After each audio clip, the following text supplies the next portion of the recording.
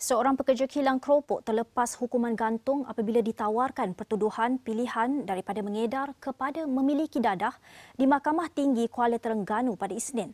Tertuduh Ismail Ahmad, 39 tahun, dijatuhi hukuman penjara 13 tahun serta 23 sebatan selepas mengaku bersalah terhadap pertuduhan memiliki tiga jenis dadah iaitu cannabis, heroin dan metafetamin. Hakim Datuk Abdul Wahab Muhammad menjatuhkan hukuman itu selepas tertuduh mengaku bersalah terhadap satu pertuduhan mengikut Seksyen 6 Akta Dadah Berbahaya dan Seksyen 12 Kurungan 2 Akta Sama.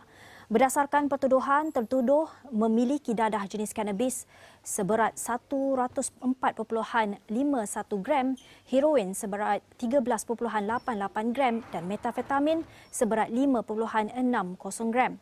Kesalahan dilakukan di sebuah rumah di Kampung Losong Haji Su, Kuala Terengganu pada 18 Jun 2019.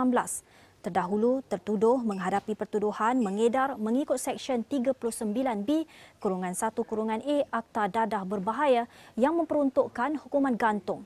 Pendakwaan dijalankan Timbalan Pendakwa Raya Amir Abu Bakar Abdullah dan Ahmad Fadli Mahmud.